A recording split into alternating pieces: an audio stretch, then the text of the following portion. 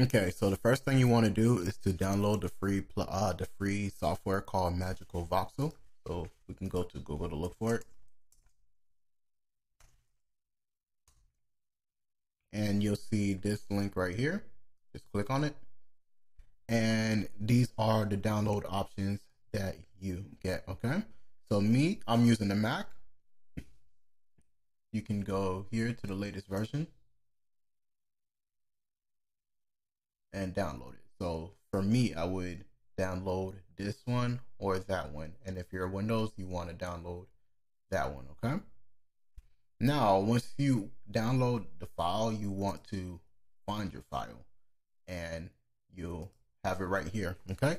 Now, for some of us, it might not work the first time you double click on MagicaVoxel. So what you'll actually have to do is to take the file drag into your downloads, go from your downloads and drag it back into your file.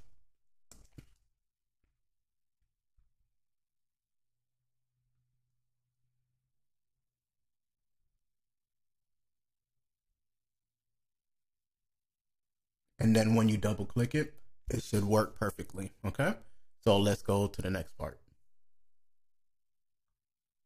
All right, cool. So now that we got the, that first part done, next thing we want to do is to get in your shader. Okay, so if you look into your resource area, you'll see that I add a brick.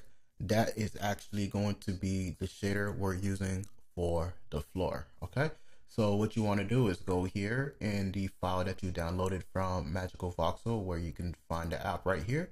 You want to go to shader and you want to actually drag in your brick into this shader. If you notice MagicaVoxel comes with its own shaders, okay? You'll see that within the program. All you want to do is take the brick shader that I uh, sent in the resource and just add it in.